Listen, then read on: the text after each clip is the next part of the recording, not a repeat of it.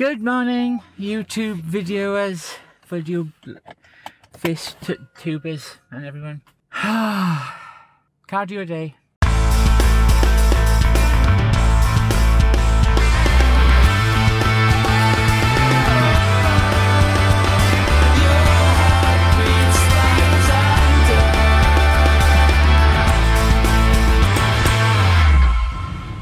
So um, yesterday we went to Body Power, uh, Sammy and I, and it was my first Body Power.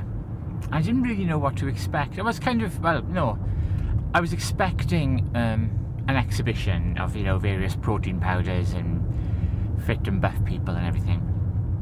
And it was really good, and I was really hoping to find some uh, unique product, something a little bit interesting to cover, which I did, donuts.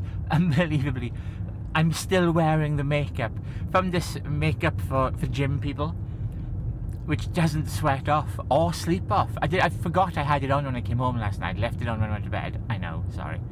Woke up, still got makeup on. So that's that's pretty impressive. Because yesterday I got quite sweaty. So um yeah, so some really good products. But what really what I didn't expect to come from there, I don't think. Although I may have I may have if I, so if I did it reaffirmed it, was what I want from my training, from my future. And it is, without doubt, um, bodybuilding. I hadn't been sure whether I wanted that athletic, sort of CrossFit aesthetic, or uh, bikini girls, you know, the thin, slender, which I didn't think was really an option anyway, or the out and out, you know, physique, muscle. And I have no doubt in my mind what I want now, and that's muscle. I, I love that aesthetic and at the Body Power show there are just people walking around, you know, with guns out. And um, I really really like the muscular aesthetic so that's what I'm going for. That's um, which I was anyway so nothing's really changed there. But I've decided more than ever having seen you know had a smorgasbord of physical attributes on display yesterday it's definitely the muscular aesthetic that I want to go for yeah, so it was a really, really good show, so entertaining. There's a video, um, it's quite a long video, there's um, about an hour of footage I recorded and he edited all that down. Uh, I was testing some new toys yesterday, I had a new interview microphone, which was really good. Although a couple of times I got the audio, the gain a little bit wrong, so I'm just trying to adjust some of that in, in editing. Um, it's first time out, you know, breaking the rules again, going out with new kit untested. So yes, good gadgets, good use of tech yesterday. Took the GH5 out for its first outdoor field trip and my, my, my rig. Audio gear, microphones, lights, all sorts in one little handheld package. That went really well. So that was fun. So yeah, the um, so so on the subject of body power and what I now want, it's gonna it's changing slightly how I'm going to be training. I may do a little less cardio and a little more strength just because I know I'm now absolutely certain what I wanted and before I, I thought I was certain, even though today's a cardio day, I think I might swap one cardio session in the week out and replace it with a, a physique session. Uh, I'm not sure how I'm going to do that yet. I need to speak to my coach. But that's, that's, you know, we tune and we tweak. You know, we look for what we want to do next. And also, I'm not sure if I'm going to be competing next year because having seen a lot more of what the standard is uh, and the fact that I'll be having quite a lot of surgery with you know skin and everything then I'm not sure if next year is now really you know it's 12 months and I've got a lot of work to do in 12 months. By the time I get the weight off stabilize the weight become a good candidate for surgery have the surgery get the tattoos or the scarring you know and all of that fixed. That's a big ask to get all that done in 12 months so I'm thinking now I'm going to be competing in 24 months, which gives me, in about six months' time, my weight will have probably stabilised. I'll be down to where I need to be. And that gives me next year then to, to tune that, to get rid of any excess skin, to um, let the scarring heal. Um, you know, so I'll have the, the body I want, it'll just be adding finesse. And all the while I can be working on my physique, I can be training and then I'm all set then for you know January 2019 to go hit the stage Also, with with that in mind, I've been learning to wear high heels, stilettos. In fact, now I'm fine in wedges and I'm fine in you know square heels. Stilettos, particularly sandals. Oh, they are fun. And I, and, I use the word fun there in its loosest, broadest, kind of least accurate sense. they are so hard to walk in. So I'm just trying to wear heels pretty much everywhere I can, as long as there isn't too much walking involved. I'm very much a you know, car to bar type kind of girl, when it, especially when it comes to these heels. But to be on stage, heels are required, so I need to be as comfortable in them as I am in a pair of old daps. Oh, that's going to be fun. Yes, the road to stage is going to be a wobbly one indeed. You see, I always thought that high, high heels were like 5 inch heels. Apparently 3 inch heels are high heels. Who knew? Apparently everyone, apart from me. And we're at the gym, and the sun is shining. And it's probably gonna suck a bit. Lukey Luke is here, my coach. Alrighty, time to get my sweaty belly on. I'll see you guys in a little bit. Hey everybody. My car is misting up. There's my aircon. So, once again, ruined my 5k time. Get in!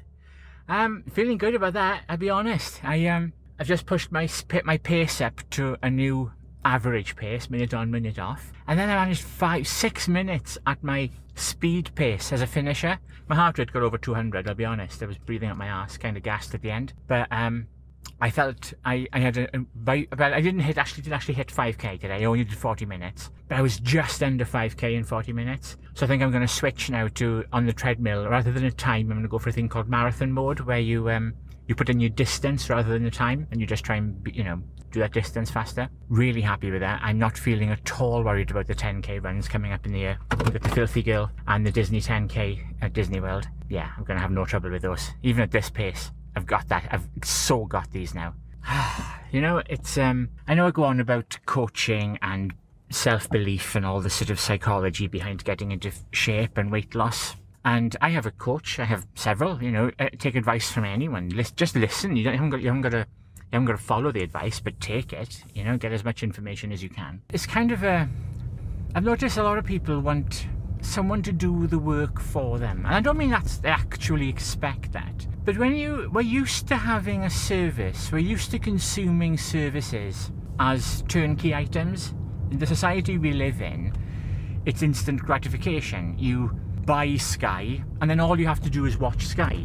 You know, you haven't to make the shows yourself. Or you buy a book, or you buy a meal, and then you eat it. It's not like you have to prepare the meal, or you know, you just buy it and then cook it in the microwave, and then it's done. It's ready to consume. And so, I think in in fitness, and you kind of see this in the marketing for bullshit items. Um, you know, three o'clock in the morning, turn the TV on, you will see a ab machine stroke um, glute machine stroke pipe rack slipper holder some sort of I, I and, and I don't know you gotta watch your credit cards because for some reason it's three in the morning these seems really appealing.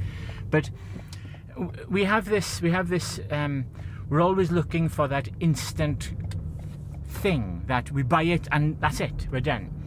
But weight loss isn't like that. You can buy advice and you can buy all the gym gear and you can buy your gym membership and you can know everything but you still have to do it. You still have to train. You have to eat well. You, you know, this isn't instant gratification. This isn't turnkey with, with gym gear. There's no such thing as buying a new pair of trainers and a week later you can run a marathon. All these things just help. There's nothing you can buy to do it for you. Even with the, the bariatric surgery, even with the mini gastric bypass I've had, which is quite literally the best, most sophisticated, most modern weight loss procedure money can buy, I still have to make sensible food choices. I still have to eat cleanly, plenty of protein, low fats, low sugars. I still have to train 10 plus hours a week to get where I want you know, even even with that procedure, all that does is reduce the amount of calories you can consume. Ultimately, it won't make you buff. It won't. You it'll help you lose weight, but then you'll just be, you know, fat thin, where you're you're you're, you're really slender, but you've got no strength or physique or aesthetic. So there's nothing, you know. And and and, and like and, and we're so we've got to stop looking for that buy the thing and then you're fit. That, that that's that, that doesn't exist in this industry. It's like buying music lessons or buying anything that you, you know it's not an instant fix. You have to do the thing. I think i've made that point quite a few times now. With that in mind even when you know that it still takes a while to absorb. You're still always looking for that easy way out. I i am I always have been, but and it simply doesn't exist, and it takes a while to come to that realization that it's not just about being a member of the gym. It's not just about buying the gear. That's just an accessory. The you can do the weight loss thing and the fitness as you know, like eighty percent as well as any gym and coach in your living room with a step and some kettlebells. You know, so uh, I think it's important to make that mental commitment that it doesn't matter what gear you have or what coaching you have, you still have to do it. You, you, you. It's all about you. Which seems really obvious when I'm saying it out loud. And yet, at the back of my mind, I still see the Abomatic 6000 at 3am on QVC and think, oh, that's what I want. That'll sort my abs out in, a, in five minutes. Even when you know it's marketing bullshit, we're still susceptible to it. So, um, and of course, marketing does that. That's what that's what sales and marketing do. Walking around Body Power yesterday, there was so much nonsense there. There was so much, you know, um, protein powders are advertised with buff people on the front, as if you buy that, you will become buff. It's it's just it's just marketing, and uh, we've become very very very tuned to buying into the story of the products that are on sale. And because so many of our pro products and so many of our purchases are instant fixes, we, we think everything is like that. And fitness is not, as the sweat will attest. So, um, would you, I want just leave some comments about this. Would you guys be interested in seeing my, my, my diet, my food diary, what I eat? I think that could work. Something that we were talking about at Body Power yesterday, because there were loads of really interesting food supplements. There's um, there seems to be a bit of a trend at the moment away from just supplementation and protein shakes to the same kind of macro, the same sort of protein, high protein and healthy and low fats and sugars, but in meals, you know. And um, there are quite a few companies selling, um, you know, protein donuts and protein cheesecake and protein cookies and protein meals. So I'm thinking maybe it would be fun to do a um, like a come dine with me thing, but with, with, with, with protein foods.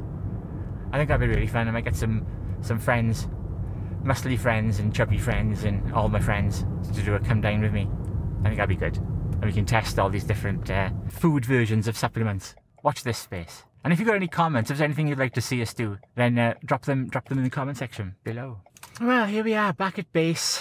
Uh, what can I say? A good sweaty cardio session today. Uh, feeling good. So once again, thank you so much for watching. Please keep liking, commenting, subscribing, and liking. It's all good. And I will see you next time on Cutting the Caboose. That sounds really cheesy when I say it like that, doesn't it? I need a catchphrase. Tim Tracker's got a cool one. And now it's time to pay the price. But I can't use that because that's Tim Tracker's. I need a catchphrase to sign off my videos. See you later, Bill and Ted.